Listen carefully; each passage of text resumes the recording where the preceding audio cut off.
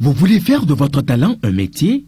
Développer votre professionnalisme Venez à Vidéo Leader. Vidéo Leader est une référence. Si vous venez à Vidéo Leader, vous avez 14, 14 de moyenne, vous êtes inséré. Vidéo Leader, numérisez votre vie.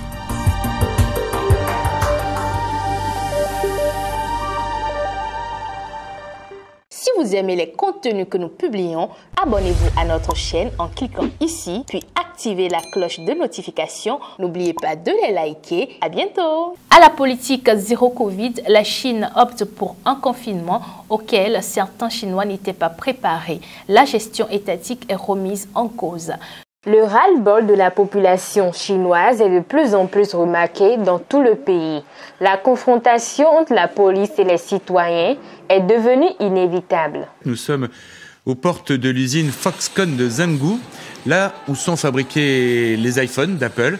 Claire nous avait déjà parlé des retards de livraison envisagés, ben ça va être de pire en pire.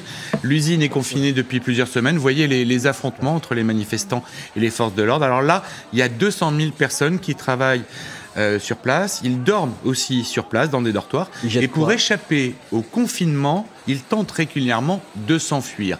Alors vous avez vu ces hommes en combinaison blanche, en fait ce sont des forces de l'ordre, avec des boucliers pour parer aux projectiles qui leur sont lancés.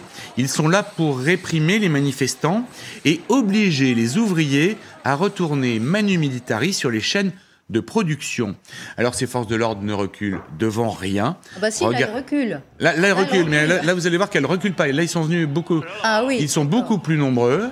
Et là, ils reculent devant rien. Ils vont tabasser, jeter au sol, tabasser ce manifestant qu'on devine dans la meute torse nu. Il prend des coups de pied dans le dos de manière incroyable. Et il n'est pas le seul. On a d'autres images, même si euh, la censure chinoise essaie de tout faire pour éviter que ces images sortent. Eh bien, elle continue à sortir. Les Chinois ne peuvent plus en sortir. Regardez, la nuit tombée. La répression est encore plus forte, de plus en plus violente. La police anti-émeute charge et asperge les manifestants de quantités totalement délirantes de gaz lacrymogène. Les émeutiers, répliquent à coups d'extincteurs. et la personne qui filme depuis l'immeuble dit Ça recommence, c'est comme ça depuis la nuit dernière, ça fait plusieurs jours. Cette politique zéro Covid en Chine a et pourrait aussi dans l'avenir avoir des conséquences dans le pays qu'à l'extérieur.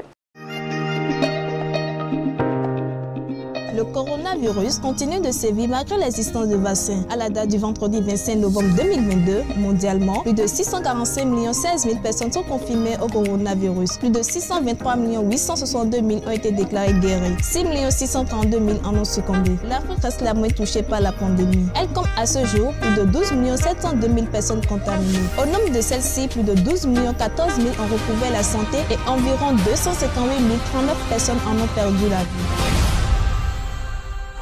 période Covid, vaccination oblige. Au Bénin, 26 309 personnes sont déclarées atteintes du Covid-19. 25 506 en sont déclarées guéries. 163 le nombre total de décès. C'est tout pour l'actualité sanitaire. À bientôt.